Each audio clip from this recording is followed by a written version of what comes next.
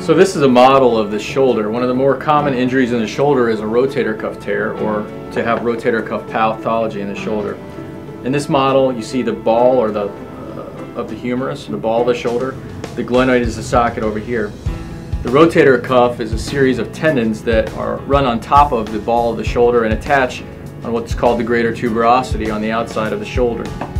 Uh, the rotator cuff is made up of four separate muscles, the supraspinatus, the infraspinatus, the teres minor, and the subscapularis. Each one of these can be torn, but most commonly it's the supraspinatus, which is the one that's directly uh, on top of the shoulder. Uh, rotator cuff pathology can manifest itself in multiple ways. Most commonly it's a combination of weakness and pain.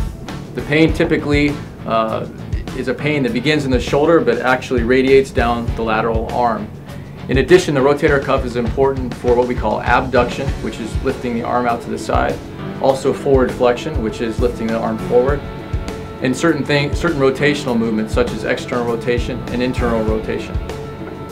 When the rotator cuff is completely torn, it typically results in needing surgical fixation. What that involves is taking the tendon, which has been torn off the bone here on the greater tuberosity, and restoring it uh, to its normal anatomy. This is usually done arthroscopically in my practice. Doing it arthroscopically means in a minimally invasive way through a scope. This results in left, less uh, perioperative pain, less trauma to the overlying deltoid muscle, and an overall faster recovery.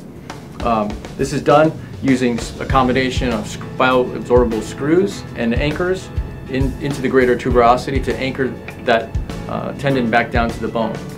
Typical recovery from rotator cuff surgery uh, to maximum improvement is usually four to six months. It usually involves about six weeks in a sling and several months of physical therapy.